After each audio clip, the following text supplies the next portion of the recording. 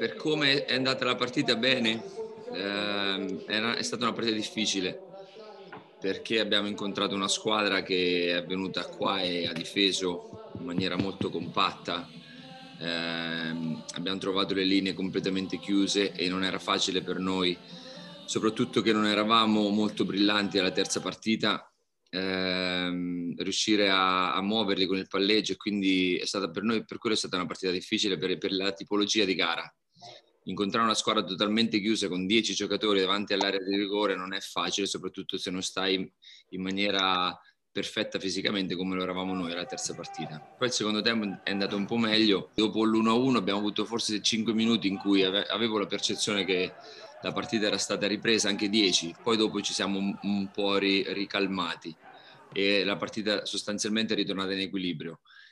Mi aspettavo di più, sì, il cambio del modulo è stato positivo perché bah, col 4-3-3 contro una squadra così chiusa, se non, sei, se non stai bene fisicamente e non riesci a produrre gioco, fai fatica e è stato positivo aver cambiato modulo. Anch'io mi aspettavo di continuare su quel trend visto all'inizio del secondo tempo.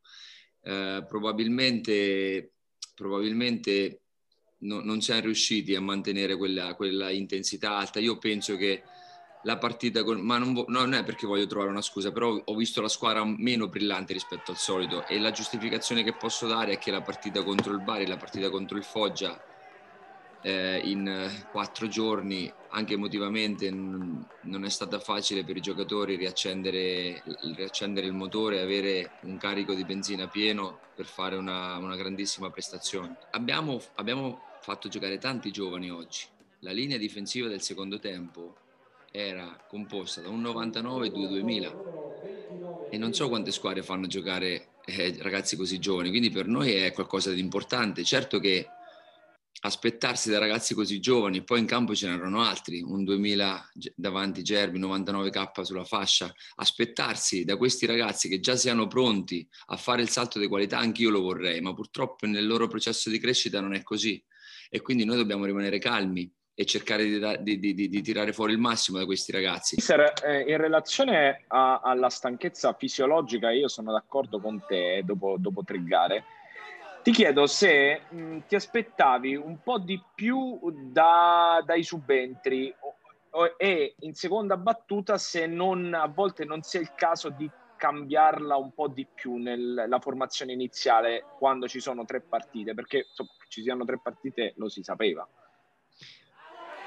Allora, non lo so, questo è difficile stabilirlo. Adesso magari che abbiamo pareggiato, la nostra mente ci dice sì, magari potevamo cambiare qualche giocatore in più. Se avessimo vinto, come è successo in altre occasioni precedentemente, è, è, una valutazione che faccio fatica a risponderti. Onestamente mi aspettavo qualcosa in più nei cambi perché dobbiamo essere un po' più incisivi quando subentriamo dalla panchina. Quello quello è un aspetto su cui stiamo lavorando perché la, è, sono determinanti i cambi nel secondo tempo.